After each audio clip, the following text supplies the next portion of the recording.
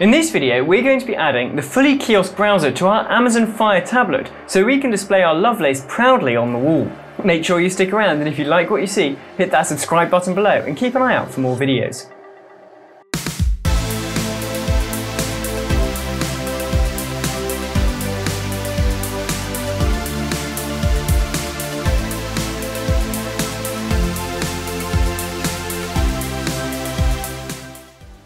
Hi, I'm Will from Will Surridge Tech, and today we're going to be having a look at an Amazon Fire HD tablet. We're going to be installing a fully kiosk browser on it, and then wall mounting it to show off our Lovelace dashboard and provide easy access for all in the house. So let's get going. So here is a brand new Fire tablet. I got it, obviously, on Prime Day, very reasonable price of just £40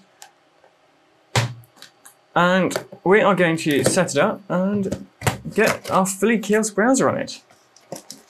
So I went for the 8 inch option because I didn't really want to be too intrusive, you know. Um, in here we have got some gumph, some more gumph, another plug that we definitely don't need. What is it? Is it USB-C now? USB-C cable obviously, because they've all decided to change over to USB-C, just as I've got a nice stock of micro USBs. Um, and the tablet itself, good sized tablet. Very happy with it. And it does have the camera on the top in the center, so it makes it look much better for uh, those sorts of purposes. Right, so let's turn it on and see what we've got. Initial setup, we have to select our country.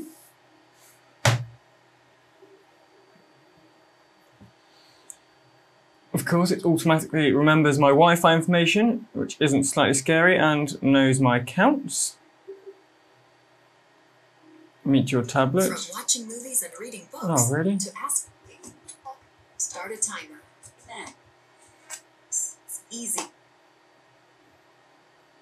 No, I'm not a child. No, I don't want to read. No, I don't want Audible. Crikey. No, I don't want Kindle. Well, this is a bit tedious. No, I don't want free apps. There we go, we're in. Sorted. So, oh, no, I don't want any more tutorials. No, I don't care about her. Disable it, disable it. Right, we're now in. So what we need to do is go to Fully euh, kiosk. Oh, Bing. Why is Bing my preferred brow my preferred search engine?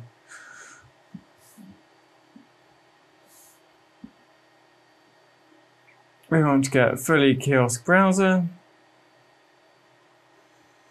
And we want it for Fire OS.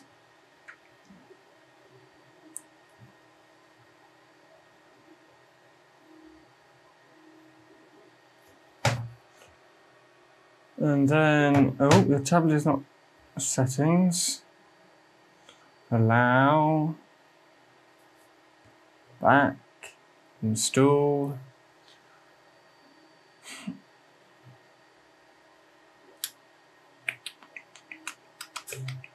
App installed. Let's open it. There we go. So, no, okay. So the action bar is all in the side. Now, the one thing is you will need a plus license to get the cool features such as motion detection. But that plus license is only £6.90, 6 euros 90, so it's really totally worth it. You can trial everything uh, before you get the plus license, which I would highly recommend you do, and it will just come up with a watermark, and then when you're happy with it, you get the license. So, web content settings. We'll come back to our start URL. I believe all of this we don't need.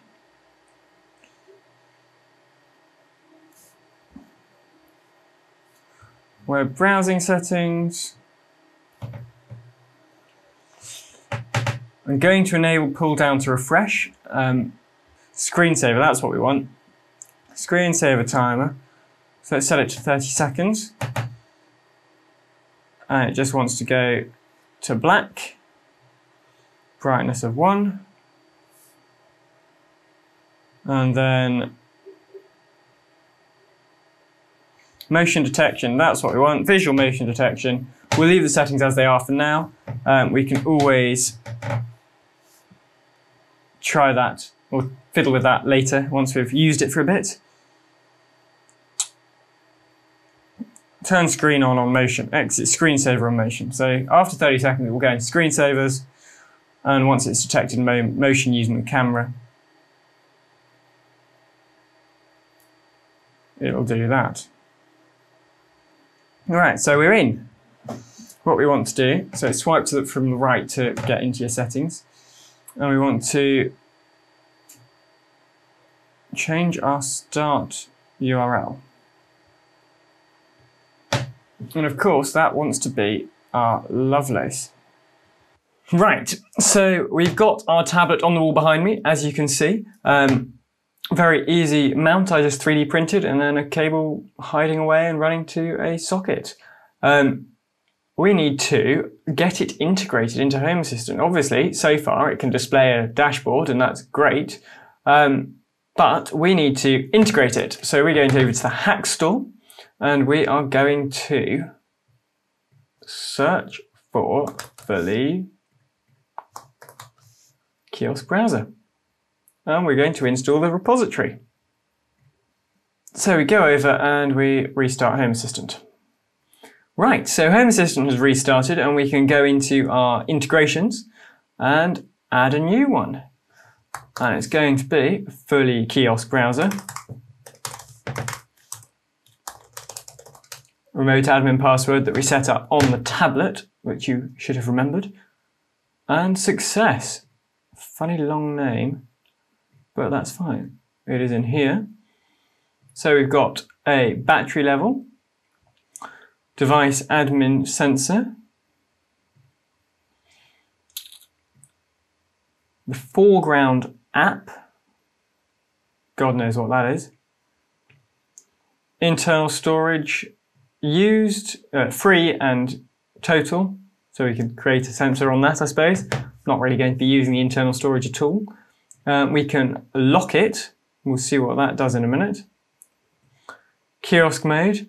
So that's if you fully lock it into kiosk mode, uh, as opposed to just having it display a kiosk which means obviously at the moment, if I wanted to get out of it, I can just kind of swipe around and press the home button. Um, whereas if it's in fully kiosk mode, you can't do that. We've got the last app start, maintenance mode, a media player. What can we do with that? Can we text to speak? No, we can't uh, whether it's plugged in, it's RAM, that's RAM free, the screen turning it on and off, orientation, screensaver on and off, and the Wi-Fi signal level. So if we turn it on, and then we can turn the screen off and turn the screen back on. Uh, that's very nifty, isn't it? And when it's off, my waving we'll wake it back up again. And with the screensaver, if we turn it off, then it will just stay like that. Whereas we've actually got it set to, after 30 seconds, it will go off. There we go. And if we bring it back up, then it will come back up, if that makes sense. So it's not the most useful thing in the world, um, but it's nice to have a bit of information about our tablet at least we can see that it's you know online and plugged in and got battery and all that kind of thing, which is nice to know. And I'm sure there are plenty of automations you could create with the screen and the screensaver. All right, so generally speaking, it is it does work. It just comes up with a little error. Not sure why, um, but it will follow various things. You can turn kiosk mode on and off, and it will do that you can turn your maintenance mode on and off, and that just kind of locks the screen from being able to be used for anything, uh, which obviously other than turning off maintenance mode. Um, so that's cool. Media player, I'm not sure why that's not working, but it doesn't seem to have a state. Now I've had this tablet up for a little while, um, and I have to say it is great. If you're ever thinking about getting a dashboard, then do it because I am fed up, or I was fed up of pulling my phone out all the time, having to open the app, all that. With this, I just walk up to the wall uh, and it just appears and it's there ready for me to go. Uh, the motion detection settings I've actually left as they were, um, which work very well. So the default allows me to walk up to the tablet and it's on by the time I'm there, um, which means it's not turning on like if I wave my arms, it won't turn on in the background. Um, but it does turn on when I want it. So the default settings are great. Um, I still can't get the media player to work. Not sure what that's about. It could be my network. I've been having major problems with that lately anyway. Um, so it's probably that.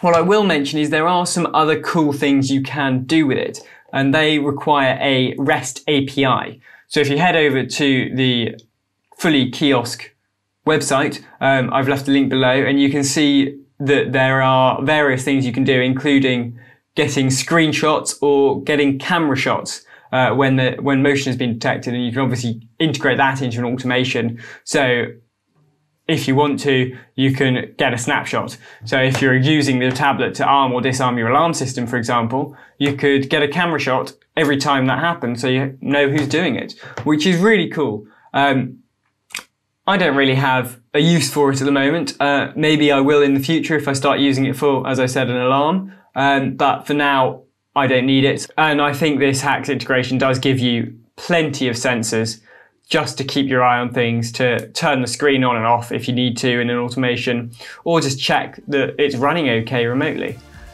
So there we go, an Amazon Fire tablet wall mounted and running my Home Assistant dashboard in the fully kiosk browser. Make sure you hit that subscribe button below and click the bell icon to find out more about my smart tech and how you can build yourself the ultimate smart home.